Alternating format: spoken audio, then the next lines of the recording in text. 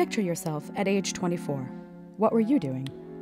Patrick Dupre Quigley was founding a professional chorus called Seraphic Fire in Miami. I came down here from, uh, from Connecticut and I was the music director at a large Roman Catholic church and had the idea uh, before I came down that one of the things that I wanted to do was start a professional chorus in Miami, partially because the uh, the Philharmonic had folded, and I wanted to prove that a professional ensemble could actually make it in this climate. And there were some really wonderful singers and no professional chorus in town, so I figured there was a need for it. In 2004, he would become the youngest conductor to win Chorus America's Robert Shaw Fellowship.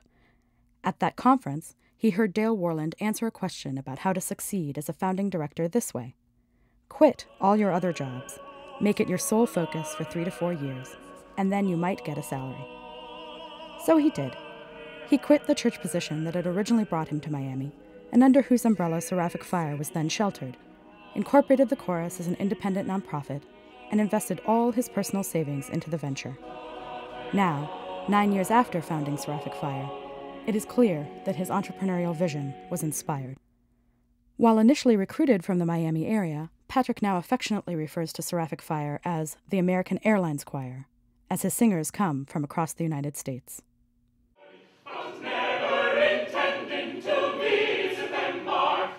Uh, they, we gather here for four days of rehearsal and three days of concerts for every time we put on a production.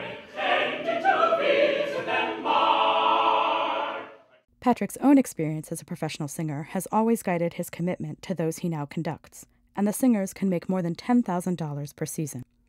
With the choir firmly established and performing more than 50 concerts each year, in 2008, Patrick expanded his vision, founding the Firebird Chamber Orchestra perform with Seraphic Fire and independently as Miami's only professional chamber ensemble. Then, in 2009, understanding from his own life that music can affect positive social change, he opened the umbrella even further when Seraphic Fire secured funding to begin the Miami Choral Academy, an after school choral training program centered in four inner city elementary schools and directed by Sean Crouch. And, earlier this month, Patrick oversaw the first professional chorus singer institute, where 20 aspiring young musicians were mentored by the members of Seraphic Fire. All this by age 33. Clearly, Patrick's passion for innovation and his entrepreneurial zeal are limitless.